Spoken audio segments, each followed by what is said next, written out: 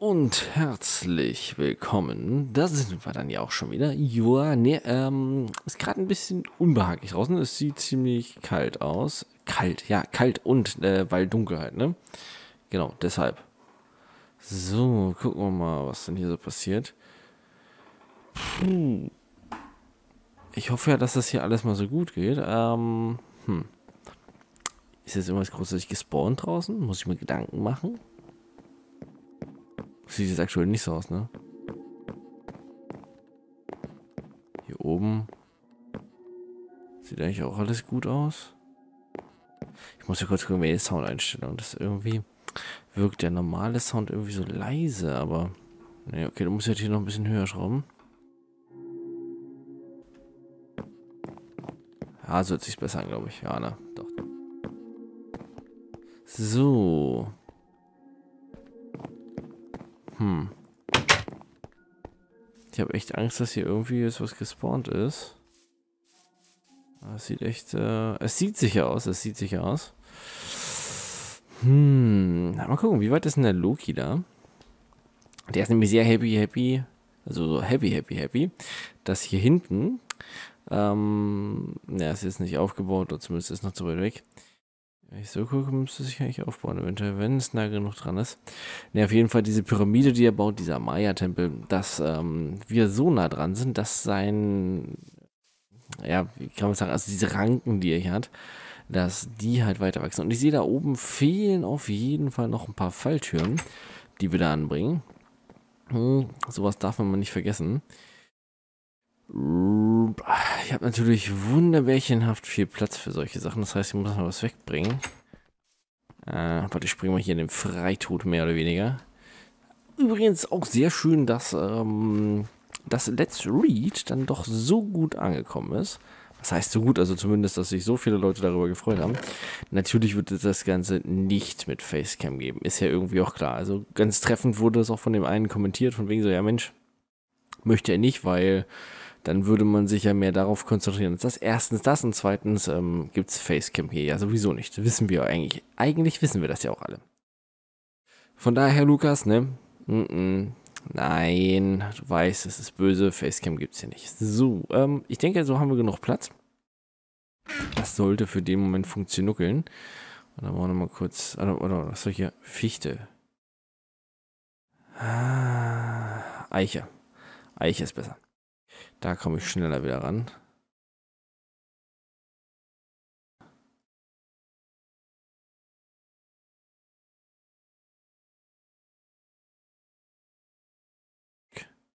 Ach, habe ich auch noch vier.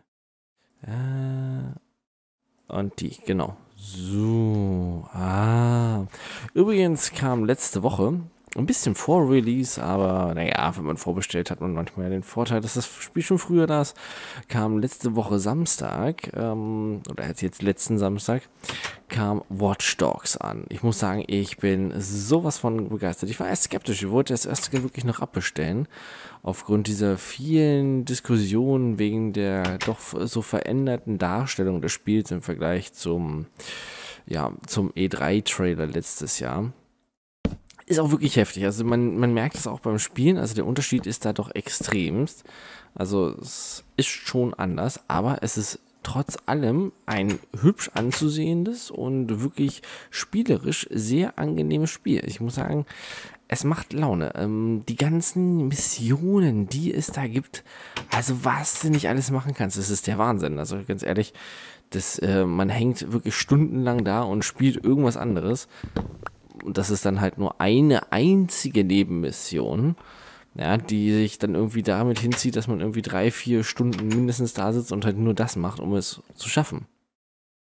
Und dann denkt man sich so, okay, jetzt ähm, habe ich Bock auf die Story, macht da oder will weitermachen und verheddert sich dann wieder damit oder findet sich dabei wieder irgendwie noch andere Nebenmissionen zu machen, beziehungsweise irgendwem zu helfen.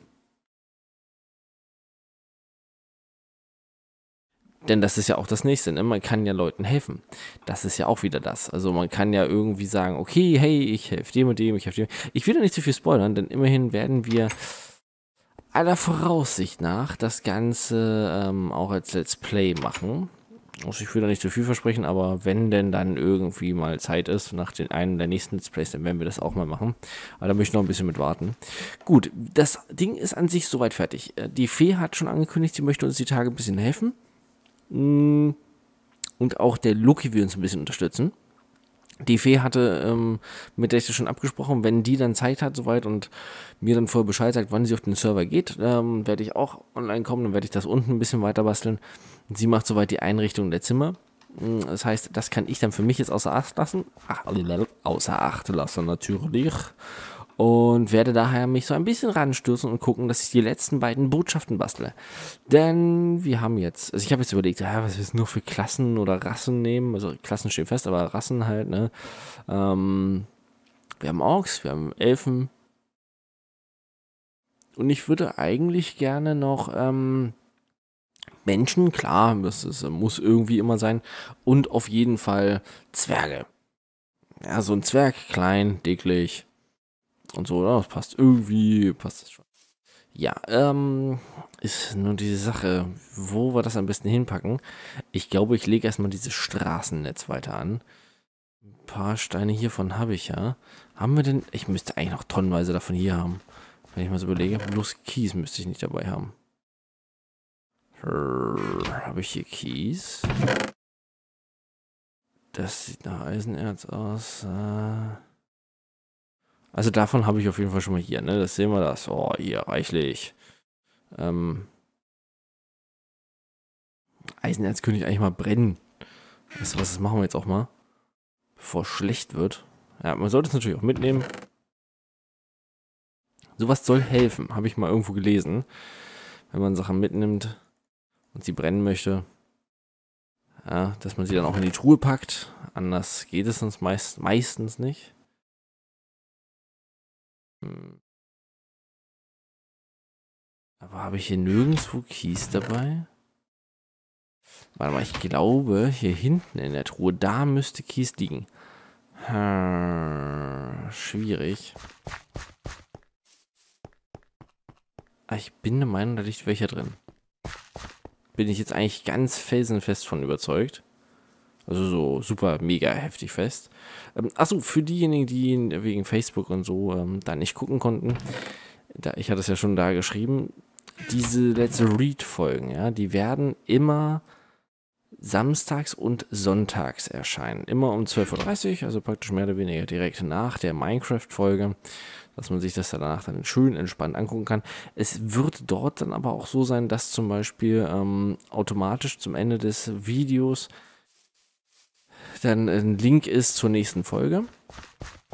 Wenn man sich über die Playlist anschaut, dann kommt ja sowieso automatisch dann halt die, der nächste Teil, ne? Dann läuft das automatisch so durch. Nur, ich denke, das geht so. Das ist auf jeden Fall in Ordnung. Ähm, so, genau. Keys technisch sollte das auch in Ordnung sein. Ha. Schwierig, schwierig. Denn die Sache ist,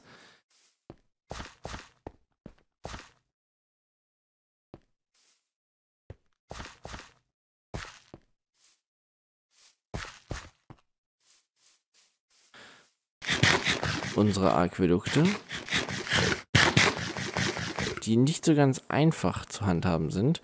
Wobei ich auch schon überlegt habe, ich werde das Aquädukt, glaube ich, abreißen und dann wirklich so einen Flusslauf hier durchmachen. Finde ich persönlich dann doch irgendwie schöner, man hat von dem Flusslauf mehr als jetzt hier von dem Aquädukt. Mit dem Aquädukt, das wäre schon cool geworden, aber mh, hm, ganz ehrlich, ich habe es irgendwo mal gebaut, testhalber ich weiß nicht, in irgendeiner Welt hatte ich das mal ausprobiert, da habe ich so just von die ganze Zeit immer nur mit Aquädukt gebastelt. Und es war echt nicht so schön. Also nicht so, es sah schön aus, es war cool. Also hier, das sieht auch hübsch aus. Aber das Problem ist halt einfach nur, man muss irgendwie immer einen Absatz finden, ne, dass es weiterfließt. Und das ist halt einfach nicht so, also das ist nicht so einfach, ne? Also man kann ja nicht Ewigkeiten weit gehen. Das ähm, muss man schon so ein bisschen gucken, wie man das macht. Und so letztendlich, wo will ich es denn hinführen? Ich könnte es klar in die einzelnen Grundstücke lenken, aber ach, will ich das wirklich?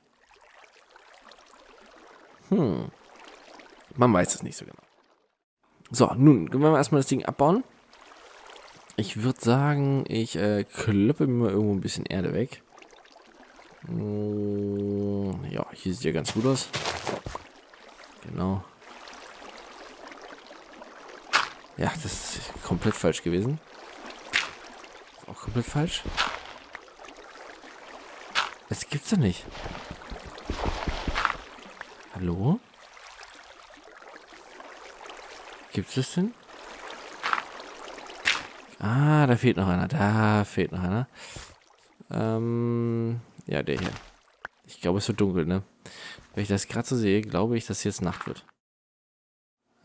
Wasser fließt weg. Sehr schön. Ich wollte nämlich jetzt nicht unbedingt draufgehen. Das war jetzt nichts, was ich unbedingt machen wollte. Ah. Genau. Und das auch noch. Haha, da müsste das Wasser ja weggehen. Sehr schön. Und ich kriege hier ganz viele tolle Sachen, die ich hoffentlich alle mitnehmen kann. Gut, ansonsten mache ich es nämlich so, dann lasse ich die Erde hier. Nein, das nehmen wir wieder mit. Und es wird wirklich dunkel. Ach du Schande, schnell mal wieder runterhüpfen. Und dann basteln wir das gleich wieder alles weg. Und dann machen wir genau an der Stelle, machen wir dann einfach so einen Fluss, der rausläuft, ja. Der, der läuft dann so raus. Ähm, schön groß, episch. Eieiei, das war, das war nur ein Käfer. Ich rede mir jetzt ein, dass das nur ein Käfer war, der da gerade so ein bisschen gelitten hat.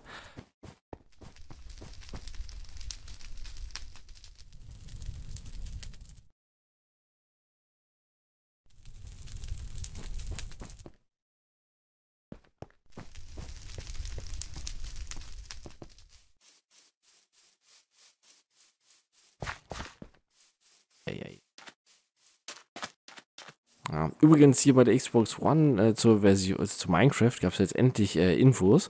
Im August wird es erscheinen. Es ist jetzt nicht mehr so lange hin. Ich sag mal jetzt, nachdem man ein Jahr seit der Ankündigung der auf der E3 letzten Jahres warten musste, ist wirklich fast genau dann ein Jahr her, ein bisschen länger sogar, ähm, hat man es dann wohl endlich halbwegs geschafft.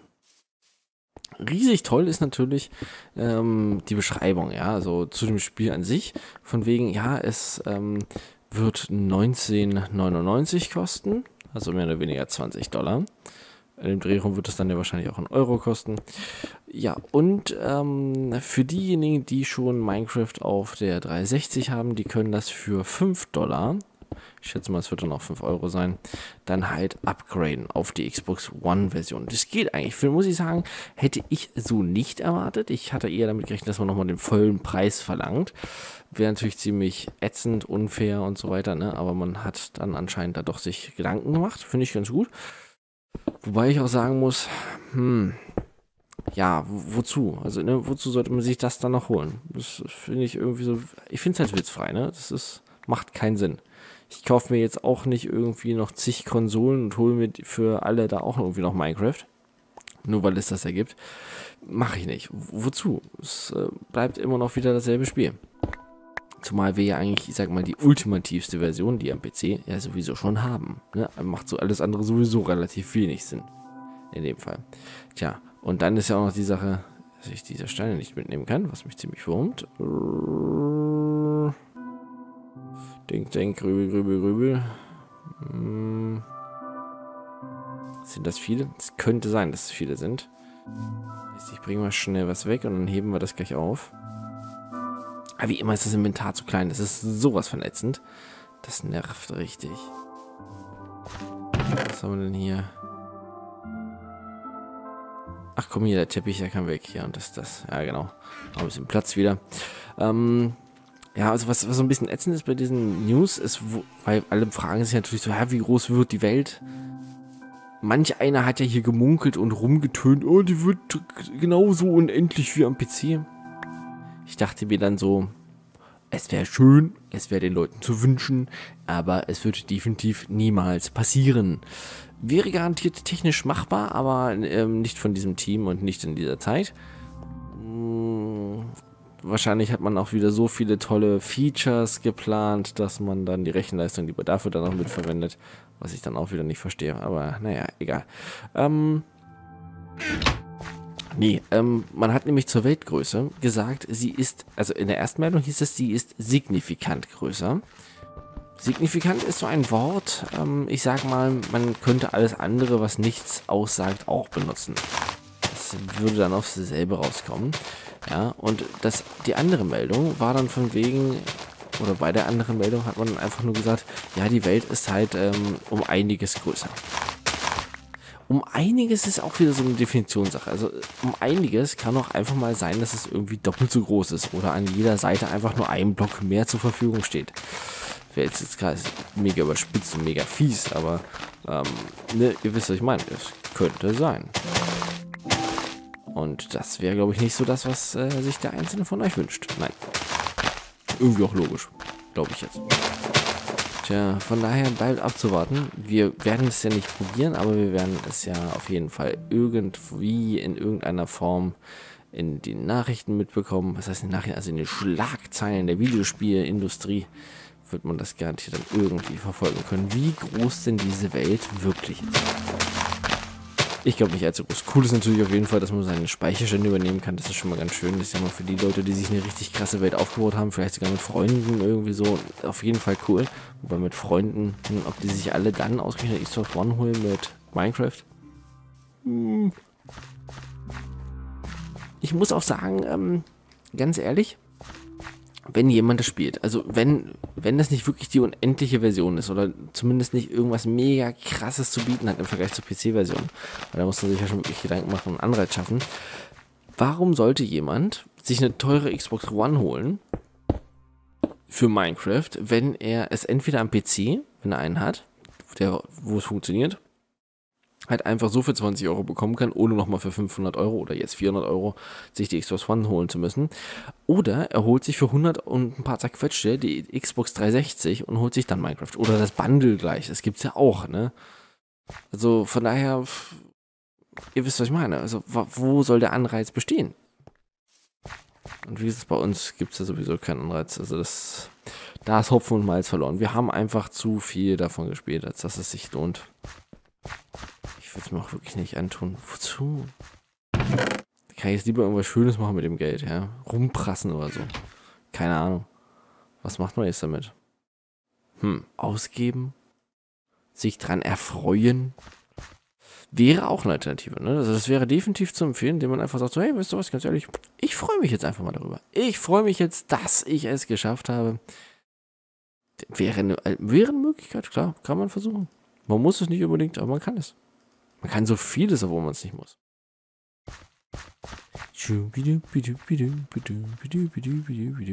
So, mit dem Fluss muss man natürlich gucken. Ähm, hm.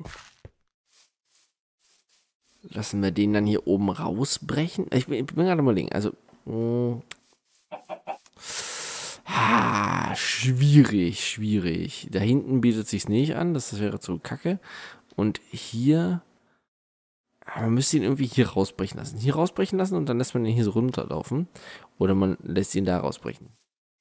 Wir lassen ihn da rausbrechen, lassen ihn hier so runterlaufen. Das Ganze natürlich auch wieder eher Kanal-like, ist auch klar.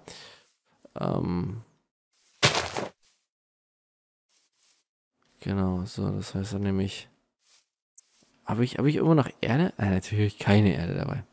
Auch wieder sowas von klar, ne? Wenn man was macht, was hat man nicht dabei? Erde.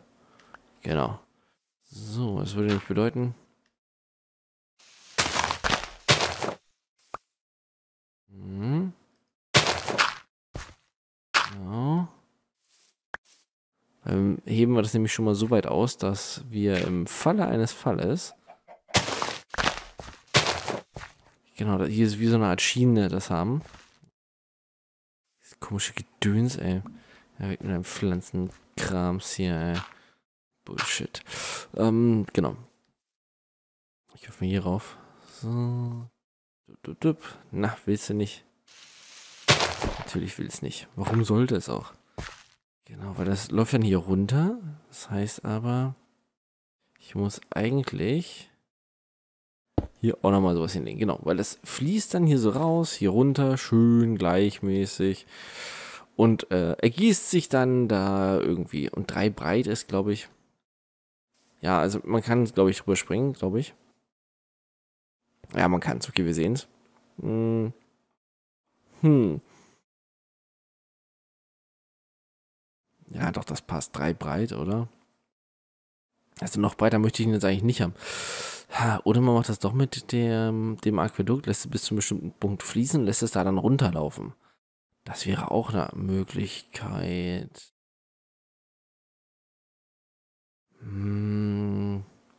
Ja, mein Problem ist halt nur, äh, also ich sag mal mit diesem von wegen, dass man es immer ein bisschen abfallend sein muss, damit das Wasser von sich aus weiterfließt, da kann man ein bisschen dran arbeiten, das ist ja nicht so wild. Mein Problem ist gerade eher nur, hm, soll das einfach nur durch die Gegend fließen und wir haben das nirgendwo, wo es hinläuft? Oder es wird dann irgendwo hin, also man lässt es dann irgendwo hinfließen, damit halt dort etwas entsteht? Oh, da habe ich gerade eine Idee. Ja. Ja, da ist mir gerade eine Idee gekommen und ich glaube, das mit dem Aquädukt werden wir dann doch wieder machen. Ha, ja, ähm. Das ist dann die berüchtigte A-Karte. Ja, das äh, ist jetzt Kacke an der Stelle. Das tut mir auch wirklich leid, dass es jetzt so gekommen ist. Aber ich sag mal so, lieber jetzt als äh, nie und immerhin haben wir es ja noch rechtzeitig gemerkt. So, das heißt dann, wir werden an der Stelle einfach noch so ein bisschen weiter basteln. Ich hoffe natürlich, dass es jetzt alles glimpflich ausgeht. Genau, hier, komm, so. Den wir machen das jetzt ein bisschen anders. Wir werden das jetzt ein bisschen anders machen. Ich muss sowieso noch schauen, wie ich das Ganze gestalte. Ist auch wieder so Optik und so, ne? Ja, ja, ja, ja. Das äh, wird nicht einfach. Aber ich glaube, dann werde ich erstmal mit dem Aquädukt... Oh, nein, verdammt. Ich habe ja gesagt, wenn wir damit fertig sind, gibt es Höhlen-Action. Ah, nun gut, ich befürchte, um ehrlich mit euch zu sein, befürchte ich, dass wahrscheinlich die Folge jetzt vorbei sein wird. Das kann passieren. Ist aber jetzt nicht so dramatisch, denn erstens, lasse ich mal hier ein bisschen Erde hier. Auch eh wieder keiner. Das heißt, nehme ich mir die eine Truhe mit. Und alles, was ich hier dabei habe, na jetzt... Ich wollte sagen, jetzt will meine Tastatur irgendwie nicht. Na, mach mich nicht schwach, ey. Nicht, dass die Batterien wirklich alle gehen. Das wäre richtig dramatisch. So kurz vorm Ende, man steht irgendwo in der Höhle, will wegrennen und dann die, sind die Batterien leer der Tastatur. Und man kann auch nicht mal Escape drücken, ja, um zu pausieren. Oder rauszugehen einfach. Tja, das ähm, wäre zu schön, um wahr zu sein. Ha, nicht natürlich, ne? Also es ist kein schöner Moment. Nee, nee, nee, nee. Ja, nee, dann würde ich sagen, ähm, machen wir es wirklich so. Ich habe mich gerade an mein Versprechen nämlich erinnert. Hm, ich werde für heute Schluss machen wir sehen uns ja dann morgen wieder und dann geht es morgen los mit dieser schnieken Höhlen-Action in der Nähe unseres Hauses, mehr oder weniger direkt dahinter, wo wir denn diese Schlucht entdeckt haben. Denn die wollen wir jetzt ein bisschen erforschen, wir wollen ein bisschen bei Monstern von Kopf hauen und mal so ein bisschen wieder Action haben hier. Ne?